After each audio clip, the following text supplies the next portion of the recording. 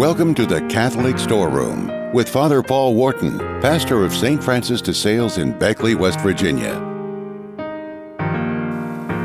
It did not become known until after her death that for many years St. Teresa of Calcutta felt no response from God when she prayed. That makes this advice even more special. The devil may try to use the hurts of life and sometimes our own mistakes to make you feel it is impossible that Jesus really loves you, is really cleaving to you.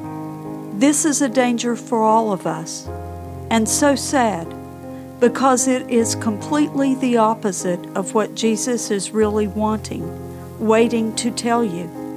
He loves you always, even when you don't feel worthy. Listen to how St. Teresa understood who Jesus was and is.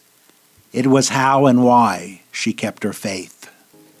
Who is Jesus to me? Jesus is the Word made flesh. Jesus is the bread of life. Jesus is the victim offered for our sins on the cross. Jesus is the sacrifice offered at Holy Mass for the sins of the world and for mine. Jesus is the word to be spoken. Jesus is the truth to be told. Jesus is the way to be walked. Jesus is the light to be lit. Jesus is the life to be lived. Jesus is the love to be loved. The Catholic Storeroom 2,000 Years of Wisdom and Insights. For your free transcript of today's message, please email info at CatholicStoreroom.com.